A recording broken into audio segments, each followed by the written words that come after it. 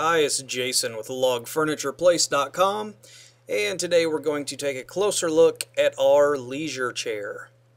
Now the leisure chair is made of cedar and mixed hardwoods.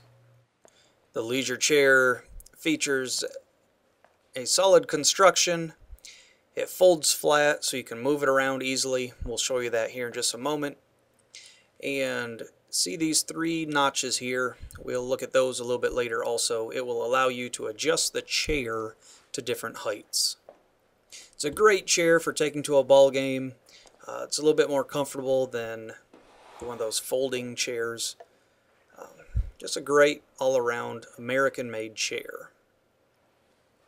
So here we have Calvin he's going to show us how easy it is to assemble the chair if you're traveling with it, you'll probably want to break it down so it will fit into the back of your car or SUV or van. So to assemble, just uh, insert the two pieces together and there you go.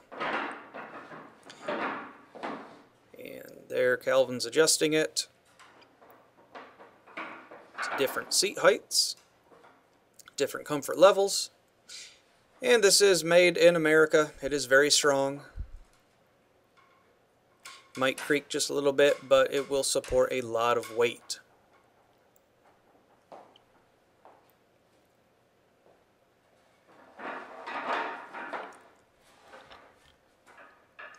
To disassemble, just uh, lift up on the back and it slides right apart, folds flat, ready to be moved or stored.